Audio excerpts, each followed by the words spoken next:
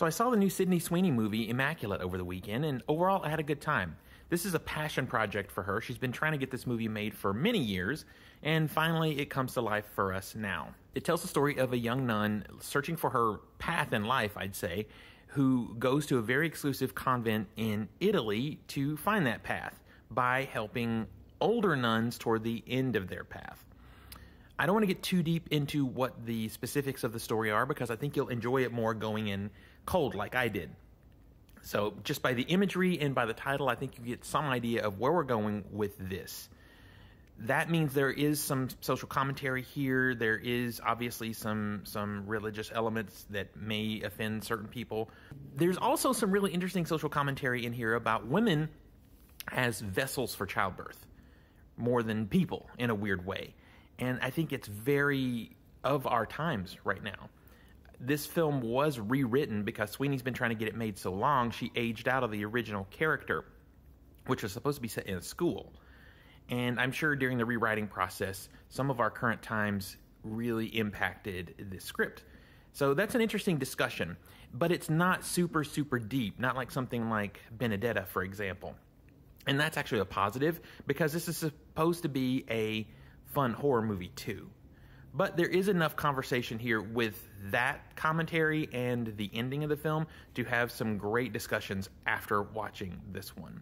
I think Sweeney is very good in this movie. She is the best in it, but she has the most screen time of anyone in it. And that may be one of the few problems I have with the movie is it is so short that there's not a lot of character development around her. It's not even a lot of character development for her. We get sort of the bullet points of why she's there and what she's trying to do, and then it moves into the horror parts. So it feels like for a slow burn film, it moves a little bit fast. I wish we'd had a little bit more character development, maybe a little bit more world building, but that's fine because it's both a slow burn film, but it clips along pretty fast. So if you're in the mood for something atmospheric, you get that here because that it has the slow burn atmospheric vibes, but it's also short. So you're not sitting down for a two hour, 45 minute, you know, epic. There are a couple of scenes in here, one scene in particular of gore that's a really good scene, but then that scene completely gets undermined later in favor of a cheaper sort of boo scare. And that's a little disappointing.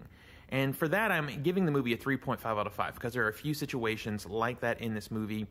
And as I said, I wish there was a little bit more character development. Overall, though, it's very fun. I think, like I said, Sweeney is good in it. I love the atmosphere. I look at a movie like this and I automatically think of nunsploitation films from the 60s and 70s. Had someone like Jess Franco shot this movie, uh, Italy would have been looking vibrant and beautiful, and all of the nuns would have had makeup and lipstick and all this stuff, and it would have been a different thing. This movie uses its color palette to help set the tone. Italy actually looks very bland, dark, and bleak, and that goes a long way to setting the, the vibes for the film. I recommend Immaculate. Again, 3.5 out of 5 for some problems, but it is a very solid horror Uh, experience that will leave you talking, especially after the ending. Go see it.